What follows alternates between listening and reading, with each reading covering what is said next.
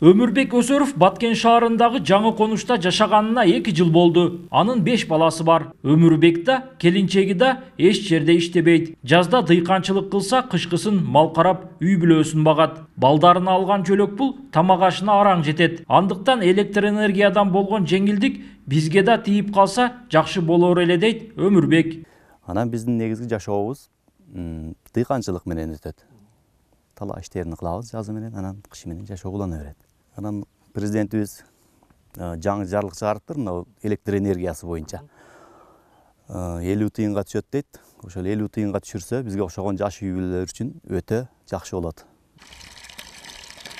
ушул эле конуштун дагы бир тургуну салима бусанова да жардамга муктаж жарандардын бири. Анын үй бүлөсүнүн негизги киреше булагы бул жарыбаган пенсия жана неберелеринин жөлөк пулу. Ал жергиликтүү бийликтен да жардам болуп көмүрдүн баасы көзөмөлгө алынса жакшы болмок дейт өтө сүйүндүмчү ушул президент кыйынчылыкты билген көп семьяда чоңойгон бала экен бала багыш өзү кыйын бала эмес азыр небере багып атабыз пособиясы эч бирге жетпей жөлөк пул өзүбүздүн пенсиябыз ол пенсия үч жарым миң пенсия. Ол азыр мана жардыгыга мен сүйүнгөнүм электр энергия арзан болуп атат анан кийин мойтте кызыл кулактардан көмүрдү өзүм үч жүз жетимиштен алып келебиз кабынычы ошону кичине жардам арзаныраак кылып койсо ол дагы жакшычы. Президентибизге рахмат. Ыраазыбыз президенттин немесиге. Баткен облусунда отуз миңге жакын жакыр үй бүлө болсо анын тең жарымын он алты жашка чейинки балдары бар муктаж болгон үй бүлөлөр түзөт. Учурда аз камсыз болгон үй бүлөлөрдүн канчоосу электр энергияга болгон жеңилдиктерге ээ болот тактоо иштери жүрүүдө. Президентибиздин жарлыгы боюнча электр энергиясынын тарифин төмөндөтүү боюнча аныктоо иштери жүрүп жатат. Азыркы күндө бул жарлык боюнча жаңы жылдан баштап он алты жашка чейинки балдары бар аз камсыз үй бүлөлөргө жеңилдетилген тарифте электр энергиясы берилет. алты жашка чейинки балдары бар.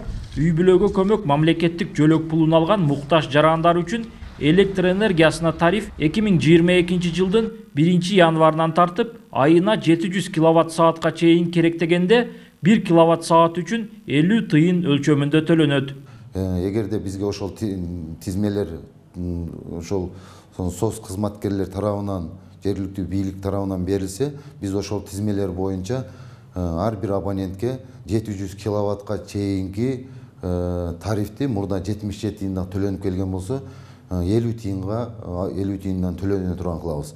Э, ошол жарлыктын негизинде. Так маалыматты биз жергиликтүү бийлик ошол соц кызматкерлери тарабынан э, алабыз. Бул э, бир он үч миңден он алты миңге чейин болушу мүмкүн.